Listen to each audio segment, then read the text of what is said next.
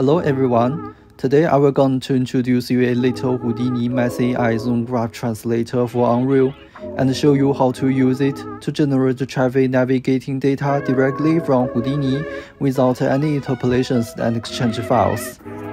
Also that it could update Zone shape traffic data in real time in the Unreal Editor. This open source plugin is for those people who still using Houdini to make procedural cities in Unreal Engine. So let's begin. First, we could grab this plugin from GitHub, and the link is in the description of this tutorial. At this page, we could clone the source code repository or download the binary version. Beware that this plugin is rely on my custom Houdini engine for Unreal implementation. So if you want to compile the source code yourself, you will also need to grab my custom Houdini engine for Unreal from this repository and the binary zip file has already contains my custom Houdini engine, so you won't download it again. Moreover, this plugin only supports the newest Houdini 20.5 later and Unreal 5.3, 5.4 or later. After downloading, you could put these two plugins into your own project. Or fortunately, you've already downloaded the Epic City sample demo then this plugin also provides an example HDA for it. So let's look into this small example with the official city sample project.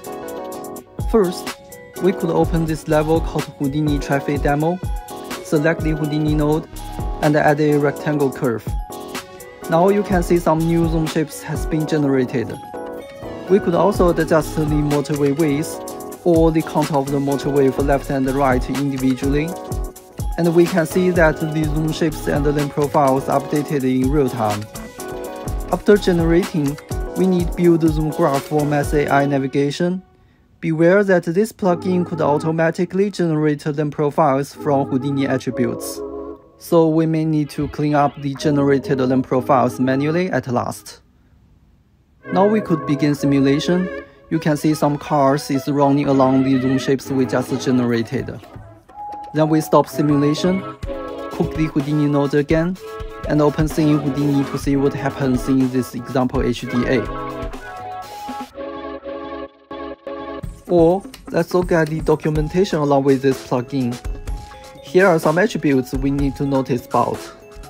If we want to output our curves as zone shapes, we must have an integer global attribute called Unreal Output Zone Shape, and set it to 1. After that, we need to specify the zone shape types by using Unreal zone shape type to define whether a curve is represented as zone shape spline or zone shape polygon. Also, you can specify text on zone shapes by using Unreal zone shape text, which is a string array attribute. And then, we need to specify lane profiles on the output zone shape curves. We could specify an exists lane profile by a string attribute called Unreal zone lane profile name or let plugin to automatically create lane profiles by using a dictionary array attribute called Unreal Zone Lane Profile. Then all of the rest other settings on zone shapes and zone shape points could be specified by using Unreal uProperty prefixed attributes. If you're familiar with Houdini engine for Unreal, then you will know how to use it. Moreover, this plugin also supports zone shape input, we could fetch zone shape actor from Unreal by world input and read them in Houdini. That's a brief of the usage for this little Houdini zone graph traffic data translator. And if you guys have any questions or issues, just report them on GitHub, and I will see it. So waiting for your feedback. See you next.